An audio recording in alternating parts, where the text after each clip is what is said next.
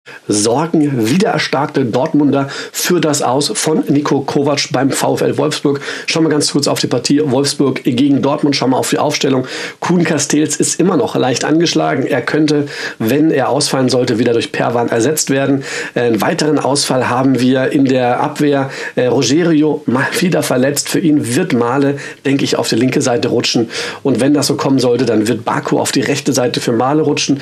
Kleine Alternative wäre, Male bleibt auf rechts, Fischer würde dann auf links rutschen. Ich rechne aber eher mit der Version um Baku herum.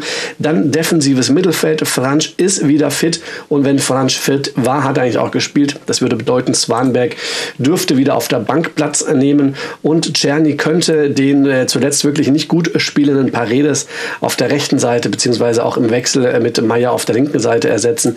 Das heißt, hier rechne ich mit Czerny und Paredes auf der Bank. Schauen wir rüber zum BVCB, zu den Dortmunder. Hier hat sich äh, Niklas Süle so ein bisschen festgespielt in der Innenverteidigung. Er dürfte hier Mats Hummels verdrängen, der damit mal wieder auf der Bank Platz nimmt. Süle in der Innenverteidigung und Marco Reus dürfte meiner Meinung nach auch auf der Platz, Bank Platz nehmen. Ähm, Julian Brandt ist wieder fit, dürfte von Anfang an spielen. Ebenso Jaden Sancho dürfte fit sein, dürfte von Anfang an spielen und dürfte für Bino Gittens kommen. Äh, beide Spieler, die mir gegen Freiburg nicht überragend gefallen haben. Ähm, genau, das heißt, ähm, Brandt und Sancho rechne ich für Reus und für Bino Gittens.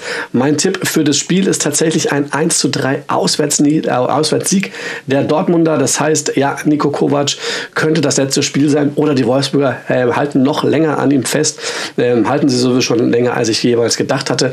Äh, für mein Top 11 Team werde ich äh, bei Borussia Dortmund mit Donny Malen gehen. Er hat mir gegen die Freiburger wahnsinnig gut gefallen und ich könnte mir vorstellen, dass er gute Möglichkeiten und Chancen bekommt für Tore, für Assists gegen den VfL Wolfsburg.